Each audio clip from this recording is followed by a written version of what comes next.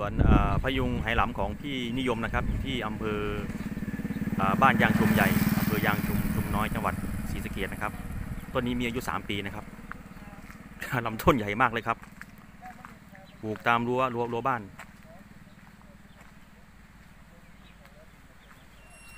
พยุงไหหลำครับเพรายหอมนะใช่ไหมมันมันก็ถ่ายรูปเขาจะบอกว่าเพื่อนแครับ นะครับ จังหวัดศรีสะเกดนะครับ แล้วก็อยู่กับพี่พี่ชัยนะครับ แล้วก็อยู่ที่สวนคุณนิยมยมนิยมนะครับ อยู่ที่อำเภออะไรครับแนะนำหน่อยครับอำเภอยางชุมน้อยครับผมอำเภอยางชุมน้อยนะครับตำบลยางชุมใหญ่นะบ้านบ้านบ้านยางชุมใหญ่ตำบลยางชุมใหญ่อำเภอยางชุมน้อยจังหวัดศรีสะเกษคอ๋รัอบบ้านยางชุมใหญ่ตำบลยางชุมน้อยตำบลยางชุมใหญ่อำเภอยางชุมน้อยอ๋อนะครับ ก็คือบ้านยางชุมใหญ่ใหญ่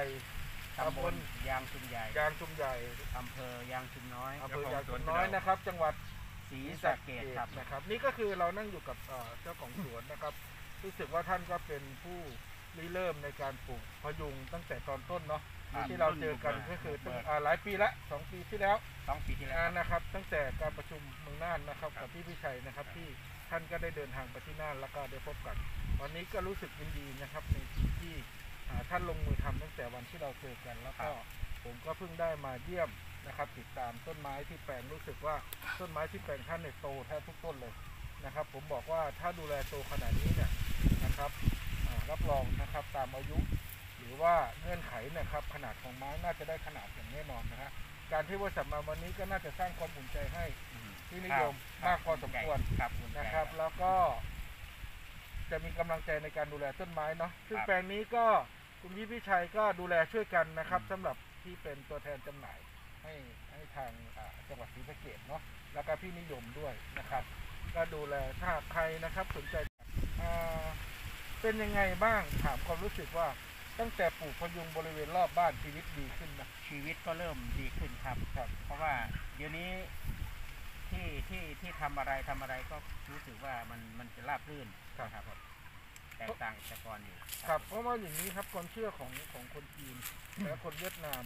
แม้กระทั่งคนไทยเองเนี่ยคือคำว่าปลูกพยุงเนี่ยปลูกบริเวณข้างบ้านเนี่ยยังไงยังไงก็อ่าจะมีความเชื่อในด้านของการพยุงชีวิตให้ดีขึ้นคำว่าพยุงอะฮะดีขึ้นจริงๆนะฮะมันมีหลาย ๆ คนอันนี้ก็เป็นความเชื่อส่วนบุคคลนะฮะผมบอกเลยว่า ก็ลองดูในการปลูกบริเวณรอบบ้านหนึ่งต้นสองต้นเนี่ยจะเห็น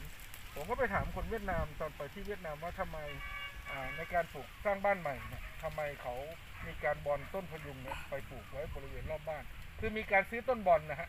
ต้นบอลจากแปลงต้นบอลจากสวนก็คือไปตั้งในขณะที่กำลังจะขึ้นดังนั้นคือในบริเวณรอบบ้านของของบางพื้นที่นะครับ ก็จะมีแต่ต้นพยุงนะครับอันนั้นก็เป็นความเชื่อส่วนบุคคลนะครับ การที่ บริษัทของมูเทแลนด์มาวันนี้ก็มาติดตามเมื่อมาติดตามแล้วเนี่ยนะครับในเดือนกรกฎาคมปี 2565เป็นต้นไปนะครับ เดี๋ยวเราจะมาติดตามอีกแล้วก็มาช่วยในการดำเนินการเมื่อไม้ปลูกไปแล้วครบ 3 ปีเนาะนะครับ ก็เตรียมเอกสารหนึ่งคือสำเนาสำเนาโฉนดไว้นะครับ แล้วก็เอกสารประกอบการรับรองสายพันธุ์เนาะแล้วก็รับรองการขึ้นทะเบียนต้นไม้ได้รับการขึ้นทะเบียนไว้แล้วเนี่ยที่บริษัทให้มา ได้อย่างมีความสุขได้เงี้ยครับเป็นข้อดีของการ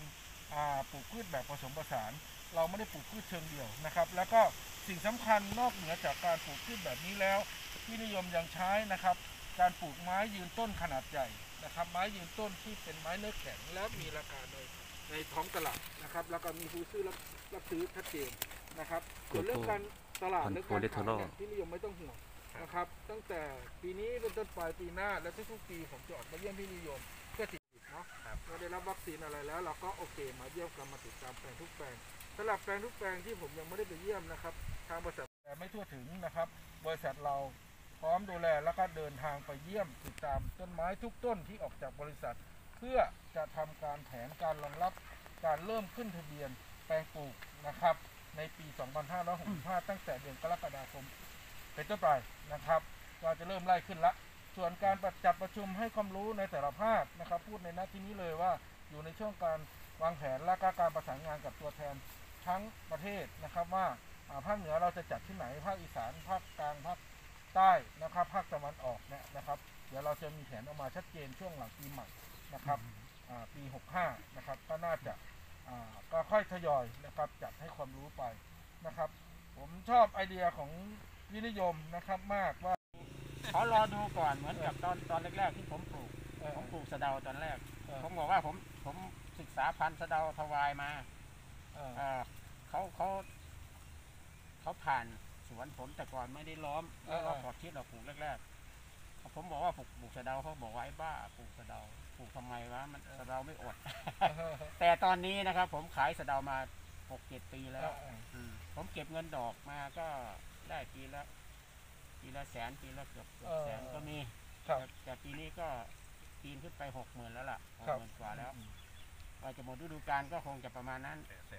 ก็ผมก็เก็บเงินดอกทุกปีอืมนะครับ หลังจากแต่ก่อนก็ค้าหอม อืม หลังจากที่ผมเดินตามรอยพ่อมานี่แหละครับปลูกทุกทุกอย่างที่กินได้แล้วกินทุกอย่างที่ปลูกปลูกทุกอย่างที่อืกินม เดินตามรอยพ่อหลวงนะครับรอเก้า ก็ยึดเอาพระราชดำรัส มาประกอบทำอาชีพอยู่ทุกวันนี้ ครับก็ผม ชีวิตก็ราบรื่นขึ้นมาเรื่อยๆ ผมก็บอกว่าตัวตัวตัวปี ตัววันตัวปีผมมีอืมตัวเดือน แต่ผมบอกว่าไม้เกษียณของเนี้ยอืมตรงนี้คือไม้พยุงก็คือบำนาญใช่ครับ กินบำนาญกินนานอันนี้สวนอยู่ที่บ้านโนนติ้วอำเภอยางชุมน้อยจังหวัดศรีสะเกษนะครับยื้อพูดเข้ามาไม่เนี่ยอย่าไปตัดที่ลำต้นของคุณลุงลุงประหลัดนะครับถ้ามันแตกกิ่งออกมากับบุตรอีกเนาะท่านดรเจษดาได้มาให้นี่ที่จริงเอ่อวิชาการการดูดูแลต้นไม้นะครับกิ่งไหนที่ต้องตัดออก เพราะว่าไม่งั้นมันจะแย่งแย่งแย่งกันจะเดินเติบโตมันจะไม่ได้เนื้อเนื้อไม้ออกตัวนี้ออกตัวนี้ขึ้นไปตัวนี้ตัวนี้พอครับดรเจษดานะครับเจ้าของอาบริษัทหงมุ้ยไทยแลนด์ได้ออกมาให้วิชาการกับทางลูกค้าของทางบริษัทนะครับ คิดว่าปลูกไปแล้วจะบ่มีคนมาซื้อบ่สวัสดีครับคุณป้าคุณยายครับ ก็วันนี้บริษัทมูไทยแลนด์นะครับ ก็ได้มาเยี่ยมนะครับแปลงปลูกของเกษตรกรคุณลุงคำพานะครับ อยู่ที่อำเภอยางชุมน้อยยางยางชุมน้อยนะครับ จังหวัดศรีสะเกษนะครับ แปลงนี้ก็ปลูกมาได้ประมาณปีกว่าๆนะครับคิดว่าคงมีร้านอะไรค่ะประมาณปีกว่าปีกว่าๆนะครับ แล้วก็ปลูกบริเวณรอบบ้านนะครับ ก็มาเพื่อให้ความอุ่นใจผมก็ต้องโทษคุณลุงคุณป้าด้วยที่ออกมาช้าหน่อยนะครับ เพราะด้วยสถานการณ์โควิดเนาะ ตั้งแต่วันที่ปลูกไปก็น่าจะมีเรื่องราวหลายๆอย่างนะครับ เขาก็หาว่าเราเป็นบ้าหรือเปล่าปลูกไปแล้วจะขายที่ไหนนะครับ มาตั้งแต่วันนี้และทุกๆ ปีผมจะออกมาเยี่ยมนะครับ การให้การันตีว่าอ่าทางบริษัทน้องมูไทยแลนด์มี ก็คัดสวยนะ ตลาดที่จะรับซื้อไม้ของคุณลุงคุณป้าที่แปลงนี้แน่นอน เพียงแค่ให้คุณลุงคุณป้าดูแลแล้วดูแลให้ดีต้นไม้เหมือนลูกเหมือนหลานนะครับ วันนี้คุณลุงคุณป้าดูแลต้นไม้ วันนี้นะครับยามไม่มีแรงมาวันข้างหน้าต้นไม้จะดูแลคุณลุงคุณป้าเองค่ะเชื่อได้เลยว่ามันมีเงินรายวันรายเดือนรายปี แต่การปลูกต้นไม้คือเงินออมแล้วเป็นเงินเกษียณนะครับ วันที่เราไม่มีแรงเขาจะดูแลเรา แต่ให้เริ่มปลูกต้นไม้ได้ตั้งแต่วันนี้ แต่การปลูกต้นไม้ให้ศึกษาข้อมูลก่อนว่า ไม้ชนิดไหนมันมีข้อกฎหมายอย่างไรบ้าง ไม้ชนิดของพยุงสายพันธุ์นอกที่เราเรากำลังมาปลูกนี้นะครับเราปลูกไปแล้วเนี่ยจะต้องเป็นไม้ที่ได้รับการขึ้นทะเบียนอย่างถูกต้องตามกฎหมายไว้แล้วเท่านั้นนะครับ ถ้าไม่ใช่เดินไปซื้อตามท้องตลาดก็ได้ ถ้าไปซื้อตามท้องตลาดก็ขอใบรับรองจากเขาด้วย ว่าถามเขาเลยว่าต้นไม้ต้นนี้ นะครับพยุงไหหลามพยุงเวียดนามเนี่ยได้รับการขึ้นทะเบียนไว้หรือยัง ถ้าเขาตอบว่าได้รับการขึ้นทะเบียนไว้แล้ว ให้ขอดูเอกสารเขาด้วยว่าหมายเลขการขึ้นทะเบียนกับกรมวิชาการเกษตรหมายเลขอะไร แล้วเราก็สามารถโทรไปเช็คกับหน่วยงานได้ว่านายคนเนี้ยนะครับหนึ่งสองสามเนี่ยขึ้นไว้จริงไหมตามหมายเลขนี้จริงไหมนะครับพราะฉะนั้นก็กันไว้เรื่องของคนหลอกเนาะผมถามคุลุงน่อยครับ การปลูกไม้ตัวนี้ทำไมถึงกล้าตัดสินใจปลูก ลองอยากลองดูอยากลองอยากลองดูอยากลองดูมันจริงอะแล้วลูกหลานไม่ว่าเหรอครับว่าลุงปลูกไปทำไมปลูกแล้วจะขายให้ใครๆว่านี่ว่าแต่ลุงแล้วมันดื้อเองดื้ออยากปลูกเออตอนนั้นทำไมเขาจะไม่ว่าต้นละดอกลุงก็ไปเอาแปลใหม่ก็ไปประชุมกับเขาก็เอามาอีกเรื่อยๆเรื่อยสวัสดีครับพี่วิชัยสวัสดีครับครับอ่าคุณลุงนิอ่าธีรพลเนาะนะครับ วันนี้บริษัทของมูไทยแลนด์ก็มาเยี่ยมนะครับแปลงโครงการเกษตรทฤษฎีใหม่ถวายในหลวงนะครับของแปลงคุณลุงธีรพลบุญกว้างนะครับในพื้นที่ที่โอเคตามตัวนี้กี่ไร่ครับสิบห้าไร่ 15 ไร่นะครับ ก็มีการปลูกพืชแบบอ่าใช้แนวทฤษฎีเกษตรใหม่นะครับ ของพ่อหลวงของเรานะครับ รู้สึกว่ามีการปลูกไม้หลากหลายชนิดนะครับ ไม่ว่าจะเป็นส้มโมงนะครับมะนาวนะครับมะ ม่วงนะครับ แล้วก็พยุงสายพันธุ์ไทย พยุงสายพันธุ์นอกนะครับ แล้วก็ได้มีโอกาสที่ดีได้มาแนะนำนะครับ และได้ออกมาเยี่ยม เพื่อสร้างความมั่นใจเนาะคุณลุงเนาะว่าอย่างน้อยคุณลุงเริ่มปลูกไม้ของพยุงสายพันธุ์นอก แล้วก็พยุงสายพันธุ์ไทย แล้วก็ได้ยินว่าจะมีการปลูกพืชกระท่อมผสมผสานปลูกได้เลยครับ พวกนี้ผมว่ามันเป็นพืชที่เอื้อหนุนกันแล้วก็ ลูกโกโก้ได้ด้วยนะครับ เพราะฉะนั้นพืชทุกตัวบอกเลยว่าอย่างที่ผมบอกไปหลายๆคลิปว่าปลูกไปเถอะปีนี้เราขายพืชชนิดนี้ไม่เป็นราคาเราก็ยังได้กับอีกพืชชนิดหนึ่งนะครับ มันก็เป็นสิ่งที่เกื้อหนุนกันนะครับ เหมือนคนน่ะคนเราก็เป็นมนุษย์สังคมมันอยู่คนเดียวไม่ได้ มันก็ต้องจับกลุ่มจับกลุ่มกันเป็นกลุ่มก้อน มันถึงจะให้การช่วยเหลือบางคนคนนี้มีข้าว คนนี้มี น้ำมันเอามาแลกกันก็ได้ใช่ไหมคนนี้มีพริกมีมะเขืออย่างเงี้ยนะ มันเกื้อหนุนกันเพราะฉะนั้นก็เอาแนวของการปลูกพืชตรงนี้มาใช้เพราะฉะนั้นอยากให้คุณลุงธีรพลเล่าถึงความเป็นมาของสวนนี้นะครับ มีแนวคิดยังไงทำเกษตรทฤษฎีใหม่แล้วทำไมถึงเลือกปลูกพยุงสายพันธุ์นอกกับตัวแทนเนาะนะครับ ก็จะมีพี่พิชัยที่เป็นตัวแทนและดูแลลูกค้าได้ดีมากๆ ครับพี่ครับแนะนำหนะครับ แต่ก่อนที่นาตรงนี้มันไม่ได้ หญ้าครับผมข้าวนกอืม ข้าวนกเต็มไปหมดนี่ ข้างเคียงกันน่ะครับ ผมเลยตัดสินใจก็แต่ก่อนผมอยู่กรุงเทพนะ อืม ผมเลยกลับมาอยู่บ้าน แม่บอก ให้แม่บอก ให้มาอยู่บ้าน มาดูแล ลูกหกคนนะครับ ลูกหกคนนะ ผมเป็นจิตแต่ถ้าตัดชิดเห็นบ่มันจะไปเลี้ยงป่ายเพราะยอดมันออกป่ายเลยถ้าหามันก็พุ่งพุ่งขึ้นขึ้นหน้านะครับประมาณ ให้เรือลำต้นเดียวครับเรือกลับไปที่เลยครับต้นใช่ครับนี่มันถูกได้แล้วครับครับหนึ่งสองไปนะครับหนึ่งสองสามสวัสดีครับเอ่อก็เป็นนะครับลุงจันทร์แล้วก็ท่านพี่พี่ชัยเหมือนเดิมนะครับ วันนี้บริษัทนงมุทแนนก็มาติดตามดูลูกค้านะครับที่ รับต้นกล้าจากบริษัททมุทแนนแล้วก็ดูแลโดยตัวแทนนะครับของบริษัทคืออพี่พิชัยนะครับ ซึ่งพี่พิชัยก็จะดูแลในเขตของสุรินทร์ร้อยเอ็ดยะโสศรีสะเกดนะครับ ทั้งหมดเลยทั้งอุบลนะครับ ก็ท่านก็ออกติดตามลูกค้าทุกๆ ปีนะครับ วันนี้ก็ผมก็ได้มายืนอยู่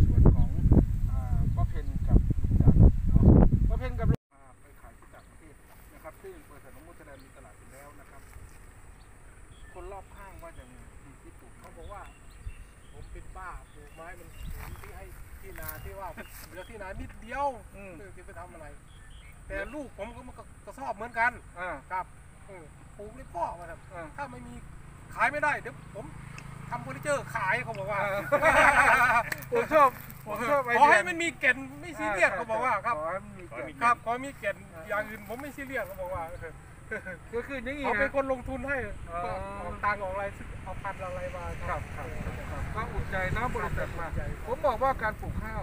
เราไม่ได้ว่าทิ้งคอารับชีพครับเดิไม่มไม่ได้ครับแล้วก็ไว้อยู่ครับเราก็ไว้อยู่เราก็ปลูกได้ แต่นี้เราก็บนคูขนาดถ้าคูขนาดใหญ่จะ สมานนะครับอยู่ที่อำเภอห้วยทับทันนะครับ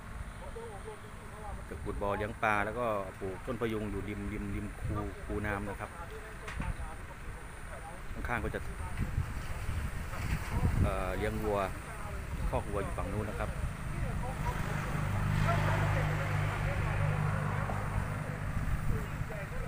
สายพันธุ์นอกพยุงเวียดนามพยุงไหหลำเนี่ยต้องเป็นมันเป็นต้นไม้ที่ติดในบัญชีสองเซเตสต้องเป็นต้นไม้ที่ได้รับการขึ้นทะเบียนไว้แล้วนะครับ ค่อยนำมาปลูกนะครับ จะซื้อกล้าจากที่ไหนให้ศึกษาข้อมูลให้ดี ปลูกไปแล้ว อย่าเสียเวลา ปลูกไปแล้ว ให้ทำตามข้อกฎหมายที่กำหนดไว้ปลูกแล้วต้องสามารถขึ้นทะเบียนแปลงปลูกได้ตามประกาศของกรมวิชาการเกษตรนะครับ อันนี้เน้นย้ำเลย หรือนะครับหากไม่เข้าใจหรือข้อมูลตรงไหนก็สามารถโทรสอบถามได้เบอร์ที่ขึ้นอยู่ข้างล่างนี้คือเบอร์ผมโดยตรงนะครับ หรือสามารถปรึกษาได้ที่ตัวแทนนะครับจำหน่ายก็คือที่พี่ชัยนะครับ ท่านดูแลลูกค้าได้ดีมากๆนะครับ ก็ฝากเบอร์โทรไว้หน่อยครับ 093 ครับแล้วเบอร์โทรคุณลุงสมานหากใครอยากมาเยี่ยมชมสวนลุงสมานแปคือดเจ็ดศูนย์สี่เจ็ดห้าหกสองสี่ครับครับอีกครั้งหนึ่งครับคุณลุศูงนย์แปดเจ็ดศูนย์สี่เจ็ดห้าหกสองสี่ครับเพราะฉะนั้นมาฟังแนวคิดมานั่งคุยนะครับ กลุ่มที่ปลูกไม้ประยุงนอกประเทศ ถ้าผ่านมาที่อำเภอห้วยทับทันนะครับโทรหาคุณลุงสมานได้นะครับ ปีหน้าเนี่ยคงจะ มะพร้าวคงจะเป็นเยอะกินมะพร้าวก็คได้รับก็ผมได้ก็ปีหน้าตั้งแต่กรกฎาคมกำลัเป็นงต้อนอกไปมะพร้าวกำลังออกต้องกลับขอบคุณนะครับก็ฝากติดตามความการเจริญเติบโตของไม้แปลงนี้ในปีถัดไป แล้วก็พร้อมที่จะได้รับการขึ้นทะเบียนแปลงปลูกกับไซเตสกลุ่มวิชาการเกษตรต่อไปนะครับ ขอบคุณมากครับจากนุมุทแลนด์นะครับก็มาเยี่ยมแปลงลูกค้านะครับที่จะ ดูแลโดยนะครับตัวแทนของบริษัทนุมุทแลนด์คือคุณพี่นี่เพิ่งปีสามนี่ปีสามปีหน้านี่ปีสามสองปีเสร็จก็น่าจะปลูกมาแล้วสองปีเนาะน่าจะสองปีก็แปลงนี้เป็นแปลงของคุณลุงสารนะครับตัวนี้แนะนำหน่อยลุงปลูกอยู่ที่บ้านอะไรอำเภออะไรอ่าเออเพออย่างนี้เนาะพูดว่าเออนี่แปลงของผมนี่ก็ชื่อผมชื่อลุงสารนรดี อยู่บ้านกูครับหมู่สิบสี่เออ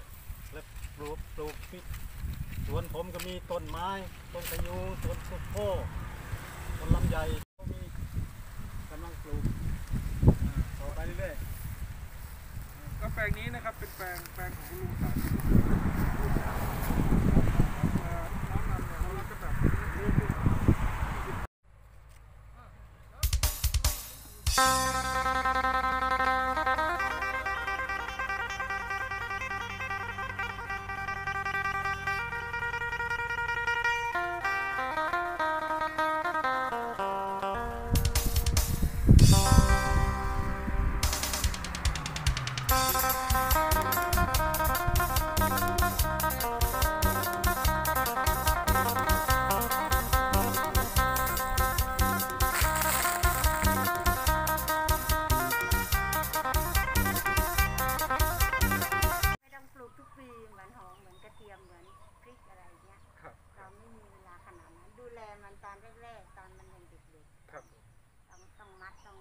แต่ก็เห็นว่าแปลงของคุณพี่กัญญาเนี่ยก็คือปลูกที่บริเวณคูคันนาด้วยนะครับ รู้สึกว่าที่เราเดินเข้ามาก็จะมี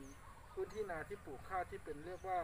ข้าวอะไรนะฮะข้าวหอมนินค่ะอ่าข้าวหอมนินนะครับ หรือว่าภาษาอีสานมันอ่าข้าวไรเบอรี่เนาะค่ะแต่ถ้าบ้านผมก็เขาวกำเลยแหละผมนะฮะค่ะเขาวกำนะฮะอ่าก็วันนี้ข้าวเหนียวข้าวเหนียวกำนะข้าวเหนียวครับ อนนี้ก็จะเป็นอ่